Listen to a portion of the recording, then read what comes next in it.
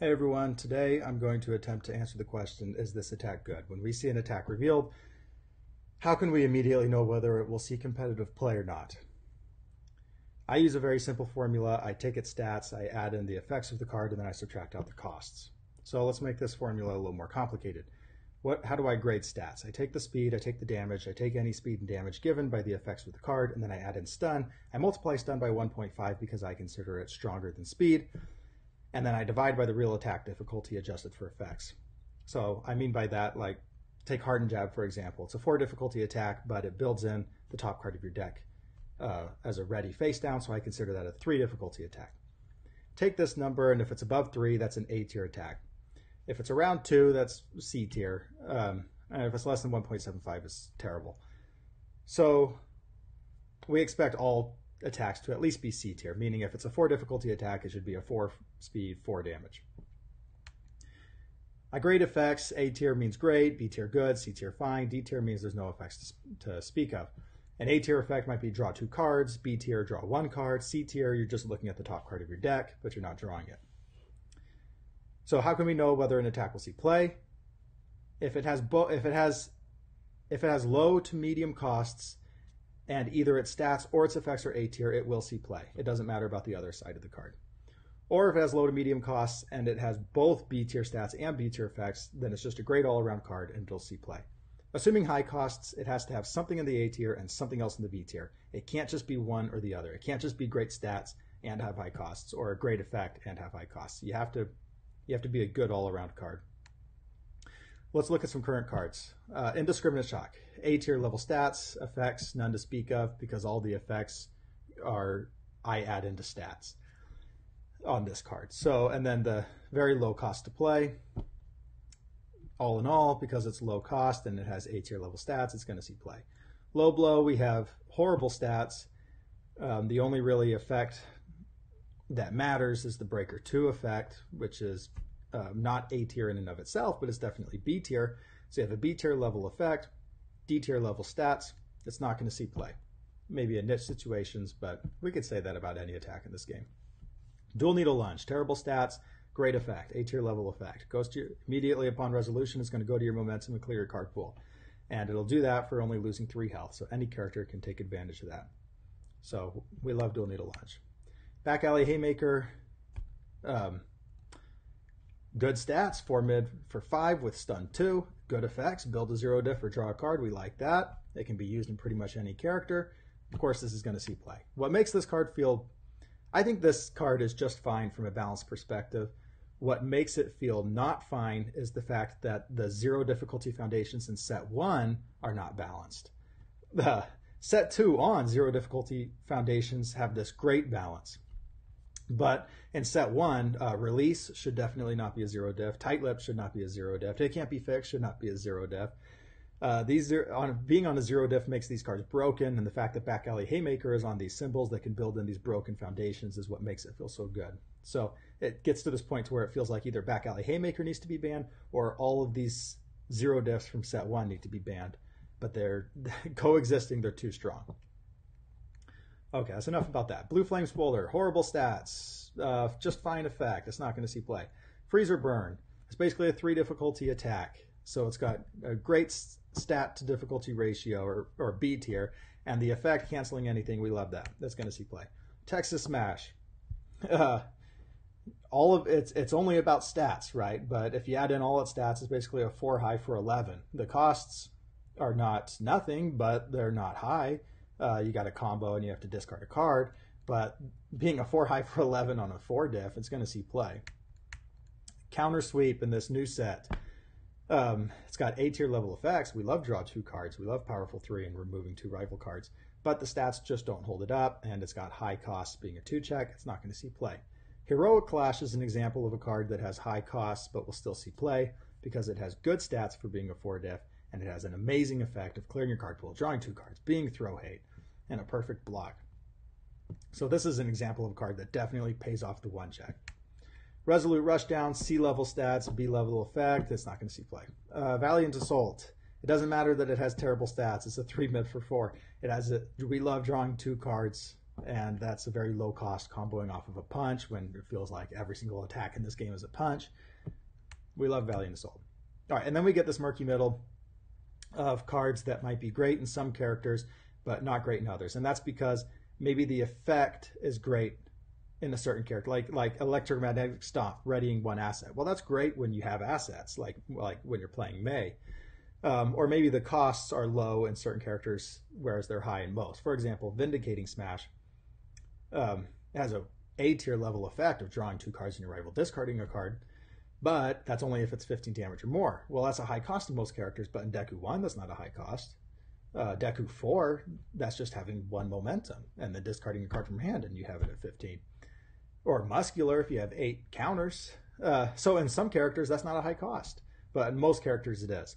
So we get this murky middle in the My Hero card game where a lot of attacks could be good in certain characters, but they're not good in the majority of others. So with this in mind, let's take the provisional store promo attacks that were just revealed yesterday and let's go in and grade them. So first we have Charge Shield Breaker. Uh, great stats, right? This can be A tier level stats. If they have 10 ready foundations, if they just built and passed and you need a way to break down their wall, which is a great flavor win, by the way, for this card. If you need a way to break down their wall, this could easily be a 12 mid for 7. 19 divided by 5 is almost 4. That's A tier level stats. Uh, effects, there's really nothing to speak of. You have Breaker 1, that's fine, but that's C tier. Its costs are just too high. So will it see play? Probably not.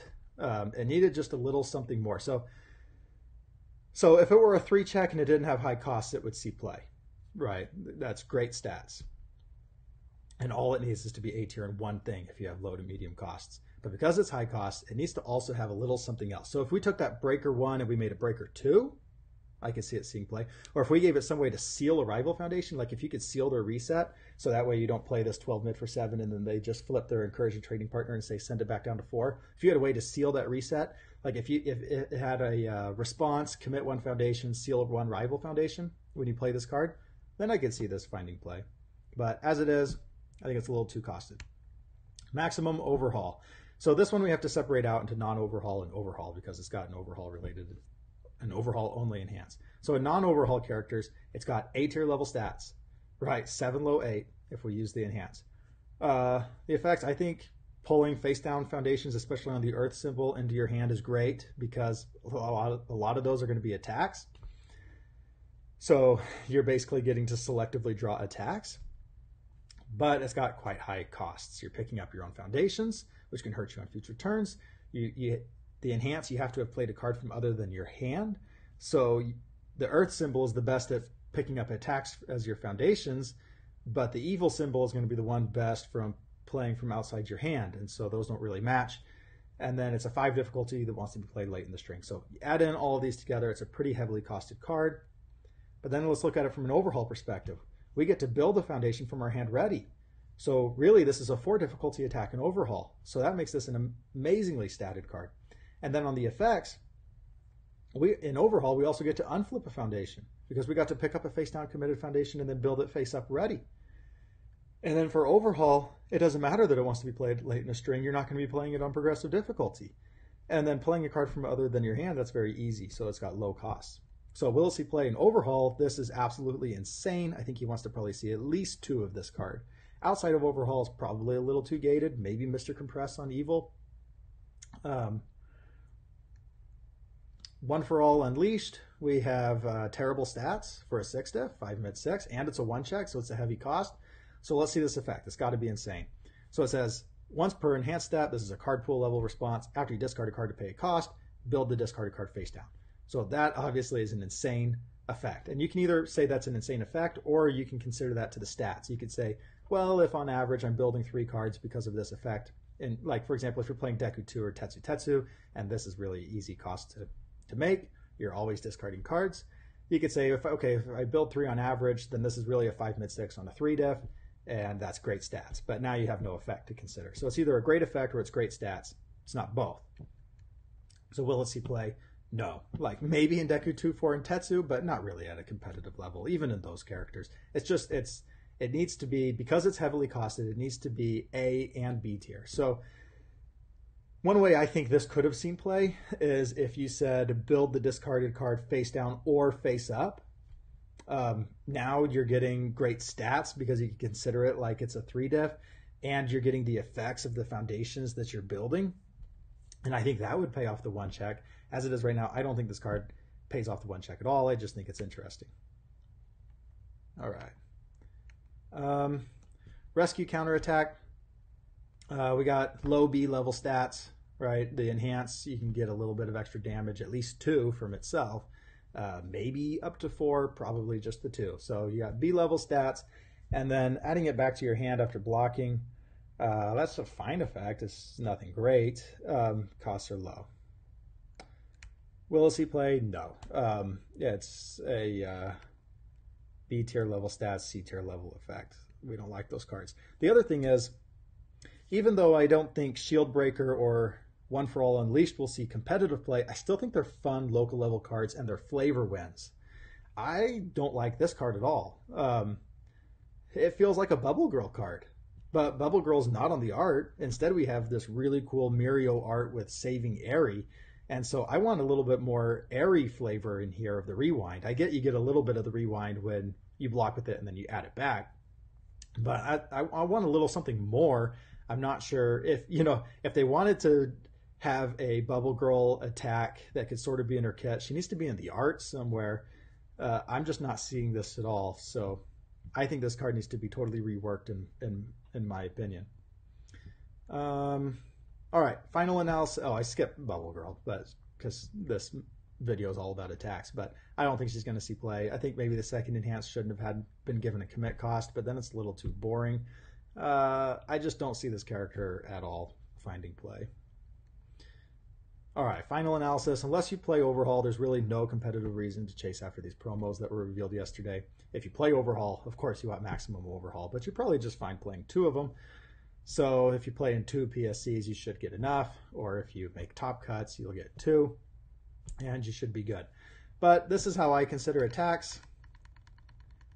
As soon as they're revealed, I just go through the analysis in my head. Are those good stats? Are those good effects? And then what are the costs? Adding them all together, we'll know if it'll see competitive play. So I hope you found this interesting and that it helped.